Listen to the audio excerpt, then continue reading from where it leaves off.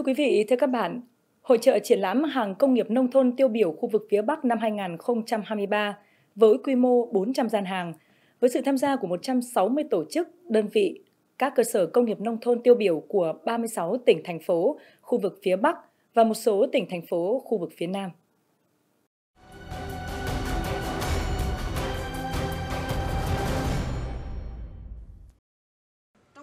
Hội trợ triển lãm hàng công nghiệp nông thôn tiêu biểu khu vực phía Bắc năm 2023 nằm trong chuỗi sự kiện của ngành công thương năm 2023 và đặc biệt gắn với kỷ niệm chào mừng 60 năm ngày thành lập tỉnh Quảng Ninh. Sự kiện này do Bộ Công Thương và Ủy ban Nhân dân tỉnh Quảng Ninh phối hợp chỉ đạo thực hiện nhằm giúp tỉnh Quảng Ninh quảng bá giới thiệu hình ảnh, tiềm năng phát triển kinh tế xã hội, thương mại, dịch vụ, văn hóa, du lịch với các tỉnh thành trong cả nước.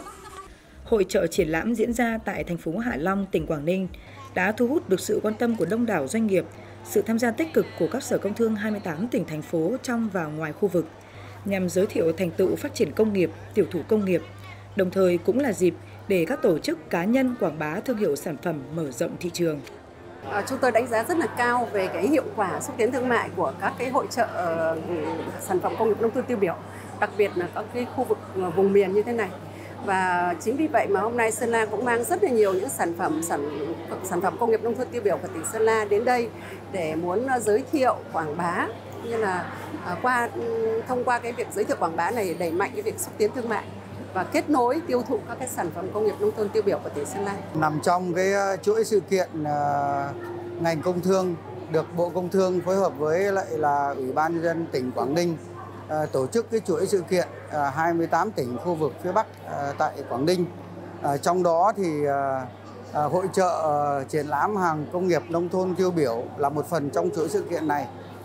Về phía tỉnh Thanh Hóa thì Sở Công Thương cũng đã tham gia với các cái gian hàng giới thiệu các cái sản phẩm công nghiệp nông thôn tiêu biểu của tỉnh, cũng như là các cái sản phẩm ô cốp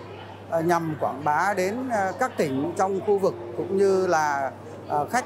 du lịch đến tham quan đối với tỉnh Quảng Ninh. Đây là một cái cơ hội rất tốt đối với lại là tỉnh Thanh Hóa chúng tôi. Đến với chuỗi sự kiện 20 28 tỉnh tổ chức tại tỉnh Quảng Ninh chúng tôi đã mang đến khoảng là trên 20 sản phẩm để đến giới thiệu đối với tại cái hội trợ này. Trong năm nay là Sở Công Thương Thái Nguyên là tổ chức bình chọn sản phẩm công nghiệp nông thôn tiêu biểu cấp tỉnh hai năm một lần thì chúng tôi đã có sự lựa chọn ra soát cũng chặt chẽ những cái sản phẩm mới mang tính mới để chúng tôi đi ờ, giới thiệu cho bà con. Hàng hóa tham gia hội trợ lần này cũng rất phong phú về chủng loại mẫu mã, từ máy móc thiết bị, phương tiện giao thông vận tải, công nghiệp chế biến, chế tạo, tư liệu sản xuất cho đến hàng tiêu dùng và thủ công mỹ nghệ, sản phẩm làng nghề, sản phẩm công nghiệp nông thôn tiêu biểu, sản phẩm ô cốp. Nhân dịp kỷ niệm 20 ờ, năm của tỉnh Quảng Ninh và Hội nghị ngành công thương ờ, khu vực phía miền Bắc thì đối với ờ, phía Nam thì Kiên Giang có mang ra các cái sản phẩm để kết nối các cái doanh nghiệp miền Nam ra miền Bắc. Thì có những cái sản phẩm đặc trưng làng nghề nhất là sản phẩm nước mắm Phú Quốc và những cái sản phẩm tiêu biểu của tỉnh. Thì nhân dịp này thì ờ,